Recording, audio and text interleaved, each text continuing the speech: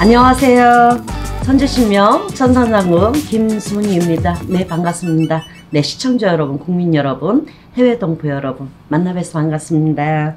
자 오늘은 이제 새해 이제 설 명절 잘 쉬었는지요? 갑진년 해운년으로는 참 저기 성스럽고 굉장히 큰 일을 하시는 분들은 아주 크게 잘 될 수 있는 그리고 이제 우리나라 경제적인가 모든 게 다 순조롭게 잘 풀려나갔으면 좋겠습니다. 개개인으로 전부 다 만사 대길하길 기도드리겠습니다. 고맙습니다. 감사합니다. 자, 시작하겠습니다. 2024년도 상반기 닭띠에 대해서 말씀드리겠습니다. 개유생 닭 띠 32살이죠. 이 닭띠들 성향들을 보시면 굉장히 예리하고 영리하고 똑똑하고 자기의 모든 것을 세밀하게 굉장히 관찰하는 역할을 많이 하고 그렇게 뚜렷하게 뭔가 목적을 가지시고 행하시는 분이 많이 있을 거라고 생각이 듭니다. 32살 닭띠는 올해 상반기 때는 순조롭게 운기가 굉장히 좋습니다. 갑진년 해운년으로 아주 운이 운이 있다 그래가지고 개개인이 다 틀릴 수밖에 없고요. 그 다음에 보편적으로 이렇게 봤을 때 아, 운기가 되살아나는 형국이다. 아주 운기가 굉장히 좋습니다. 운도 있고 재수도 있고 복도 있습니다.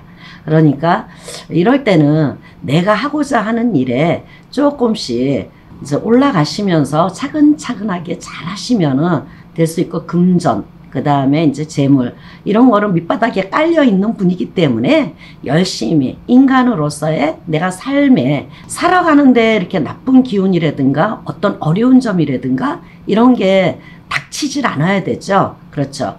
그러기 때문에 조금씩 이렇게 편안하게 상반기 때는 음 뭔가를 밭이라고 생각하면은 다져놓는다. 내가 밑바닥에 다져놓는다.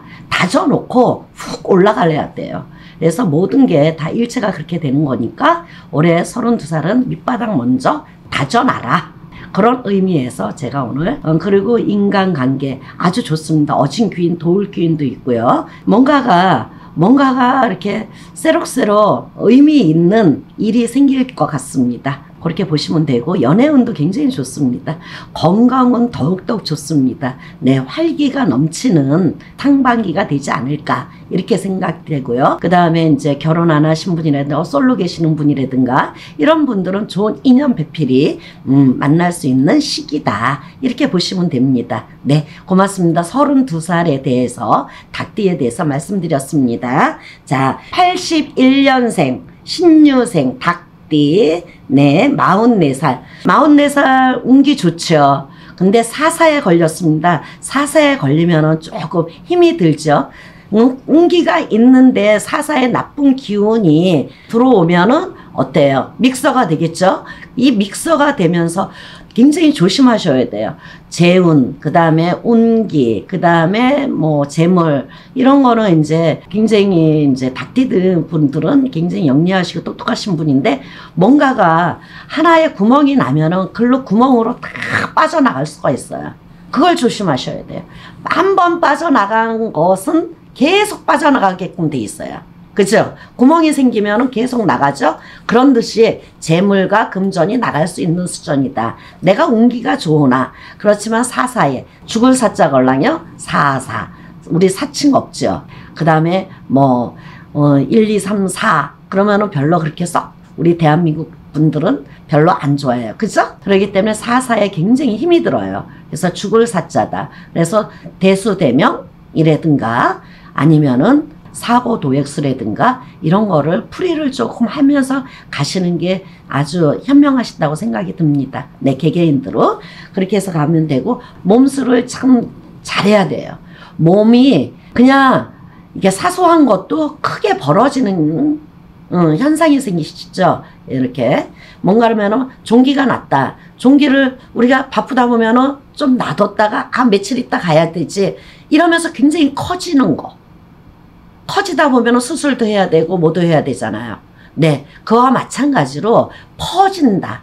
그러니까 소소한 거를 그러니까는 소소한 거를 조금 그런 거라도 내가 바쁘더라도 힘을 가해서 어, 자기 몸은 자기가 관리를 해야 된다. 이런 뜻입니다.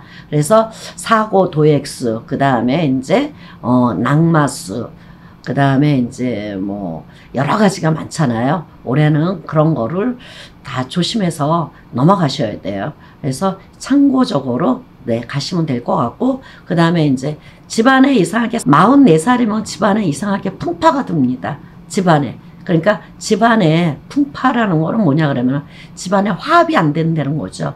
누군가가 화합이 안 되다 보면은 전부 다 너는 너 나는 나 아주 어, 가족의 뭔가가 다 제각기대로 놓고 마음이 한 마음이 안 된다는 얘기예요. 그래서 이런 것도 좀 조심해서 가셔야 할 부분이 있고요. 그래서 어 뭐 이혼하신 분, 그다음에 사별하신 분, 뭐 또 다시 재혼하신 분들, 뭐 이런 분들 많잖아요. 그런 분들도 조금 조심해서 네.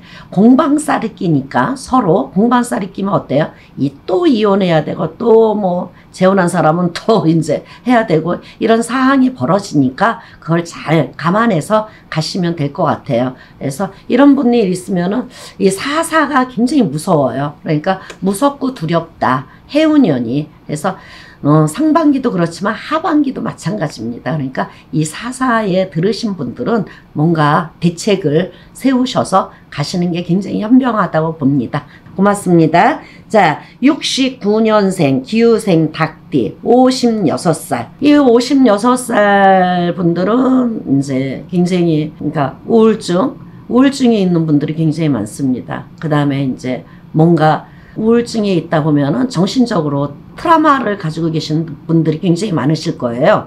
그래서 이런 분들은 뭐 재물과 뭐 금전 그런 것도 이제 중요하게 생각을 하겠지만 자기의 인생에서 돈이 있으면 무엇 하나 재물이 있으면 무엇 하나 내가 지금 현재 내가 몸이 아프고 그 다음에 우울증이 걸리고 그 다음에 이제 무언가가 보이지 않는 네 신의 시달림을 받는다든가 뭐 이런 조화가 굉장히 많습니다.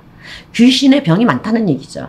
귀신의 병, 그 다음에 조상의 병, 그 다음에 신의 병, 이런 분들이 굉장히 많습니다. 그러니까 그런 거를 이제 어, 선생님한테 음, 의논하고 어, 전화 상담을 해서 잘해서 우리 사바세계 살면서 편안하게 좀 가셔야 되지 않겠습니까? 그러니까 그런 거는 이제 상담으로 통해서 하시면 될 것 같고요.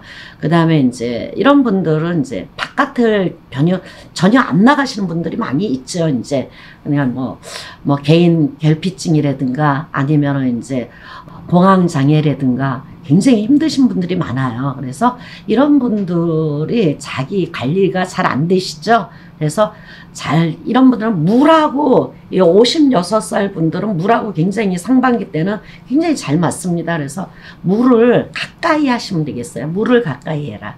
그래서 물을 가까이 하고 용궁기도 많이 하시고 또 이제 물하고 가까운 것을 많이 접촉을 하고 그 다음에 이제 연애 뭐 이런 것도 이제 개개인으로 아주 좋은 결과가 있지 않을까 이렇게 생각이 듭니다. 일단은 몸이 건강해야 되니까 음, 정신적으로 몸과 마음과 정신적으로 그래 내가 힘이 든다 이렇게 보시면 됩니다. 감사합니다. 자 정류생 닭 띠 이런 분들은 몸이 몸이 참 안 좋았었는데 올해는 올해는 몸도 좋고 재물도 좋고 그 다음에 금전도 활력을 솟아나는 상반기다 이렇게 보시면 됩니다. 아주 좋습니다. 그 다음에 이제 어, 건강 건강은 뭐 건강도 굉장히 네 좋은 편으로 드시고 열심히 최선을 다해서 건강을 관리를 잘 하시는 분도 계시고 못 하시는 분도 계시는데 건강은 자기 스스로가 열심히 하셔야 됩니다. 운동 막 걷기 운동을 최선을 다해서 많이 하십시오. 뭐 가서 뭐 이제 연세 드시면은 이제 뭐 이거 막 하시다가 뭐 심장마비로 돌아가시는 분들도 막 연세 드시면 너무 무리하게 운동을 하시면 안 돼요. 그래서 걷기 운동이 최고로 좋으니까 걷기 운동하면 어때요? 호흡도 좋고요. 내 폐활력도 좋아지고 모든 게 다 좋아지잖아요. 그래서 그렇게 걷기 운동을 하면 참 좋으실 것 같다. 실령님 말씀이 좋다 이렇게 말씀을 하시네요. 그리고 이제 연애, 그 다음에 부부 화합, 뭐 혼자 사시는 분도 계시고, 그 다음에 뭐 사별해서 가신 분도 계시고 그러는데 보편적으로 운기는 아주 좋은 상반기이지 않을까. 네, 행복하게 보입니다. 감사합니다. 닭띠에 대해서 말씀드렸습니다. 상반기 운을요. 행복하십시오. 고맙습니다. 감사합니다.